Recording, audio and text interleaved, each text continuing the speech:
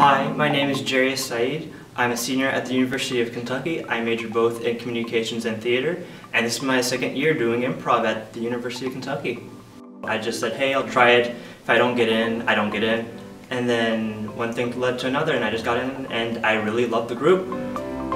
And so now I'm here. I've done a year of, of improv for the, the Skitty Kitties in the previous year, and a few classes have touched on the subject, and I'm here for another year. Hopefully it goes well. For the improv group, a friend of mine named Jack, he was in the group last year with us. Now he moved back to Australia, invited me to edit a few videos.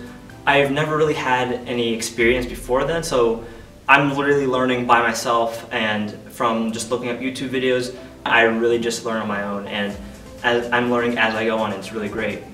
My favorite thing about the group in, in, itself is that we all feel like we're kind of a family because we really know like our each of our own dynamics. Who can do what better, who's not really into this. And it's kind of this like trust exercise that we always have with each other while we do the shows and practice. I feel like improv is something that not many people want to do, but it's something that we all need to do in our daily life, whether it's at a job and, and a board meeting or maybe in a presentation something comes up and you just have to think on the fly. It's something that I always wanted to grow in my arsenal and something I could use in my daily life. Y'all really should come out to the shows. Uh, we got a new name, it's called Part Time Pizza, and yeah, see y'all there.